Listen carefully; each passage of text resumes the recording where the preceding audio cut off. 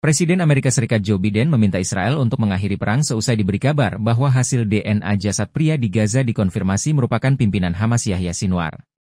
Biden meminta Israel segera meredakan perang seusai membunuh Sinwar. Presiden Amerika Serikat Joe Biden mengatakan, Isaiah akan segera berbicara dengan Perdana Menteri Netanyahu dan para pemimpin Israel lainnya untuk membahas jalan untuk membawa pulang para sandera ke keluarga mereka, dan untuk mengakhiri perang ini untuk selamanya, yang telah menyebabkan begitu banyak kehancuran pada orang-orang yang tidak bersalah.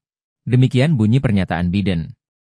Namun secara mengejutkan Perdana Menteri Israel Benjamin Netanyahu justru bersikap angkuh atas tewasnya bos Hamas. Dalam pidatonya, Netanyahu mengatakan terbunuhnya Sinwar tidak akan menghentikan perang di Gaza. Ini bukanlah akhir dari perang di Gaza. Ini adalah awal dari akhir, kata Netanyahu. Netanyahu memuji tentara Israel atas meninggalnya Sinwar. Ia juga mengatakan bahwa peristiwa tersebut menandai kemenangan besar bagi Israel tapi bukan akhir dari perang. Netanyahu mengatakan masih ada tantangan berat di depan Israel yaitu menghancurkan Hamas.